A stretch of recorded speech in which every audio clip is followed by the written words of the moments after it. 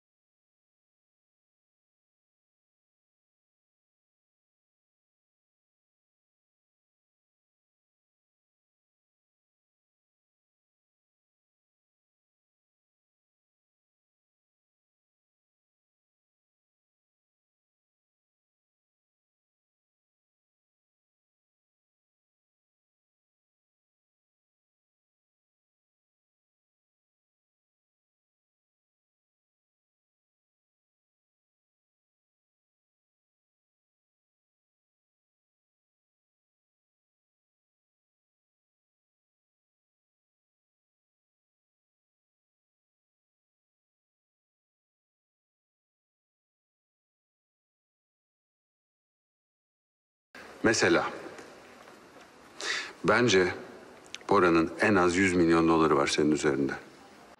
Ha? Bildin mi?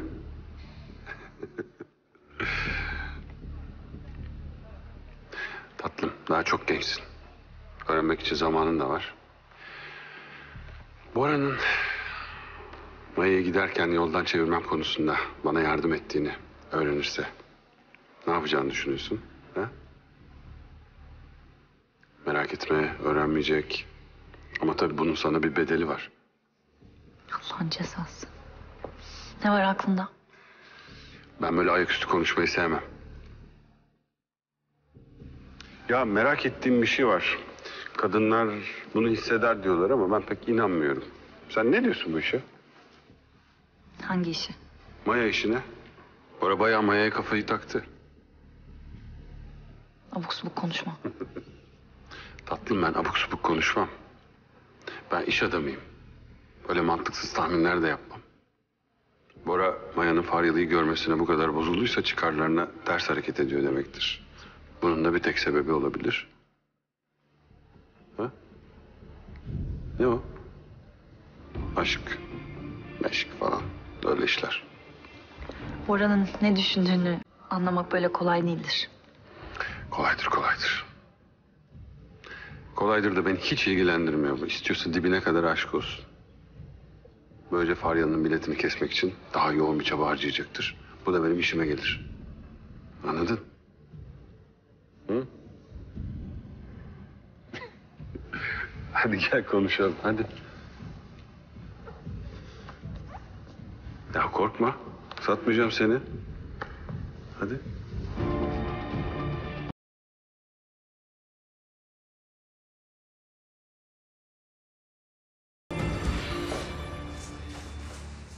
Otursana artık.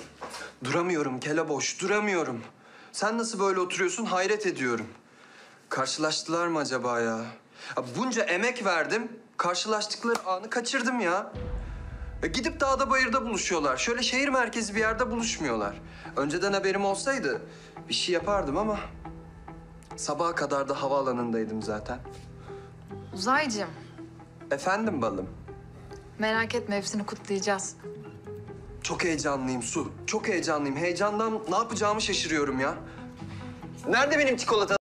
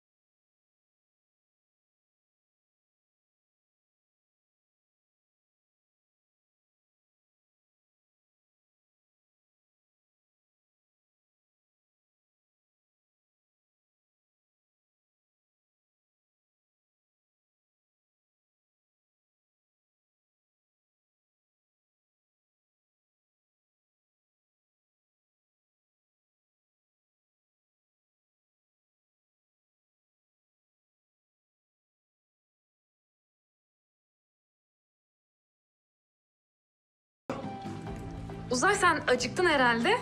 Gel şunu al. Ufak ufak al. Parmağımı bıraktım. Aa, Yedirme şunu elinde ya. Gıcık oluyorum. Aa kıskandı. Hadi al sen. Ya al. İstemiyorum. Bu da geldi. Ne güzel pizza ya. Bunun üzerine böyle biraz çilek dilimlesem anneme mis gibi doğum günü pastası. Hatta doğum gününü akşam burada mı kutlasak? Ah, süper fikir.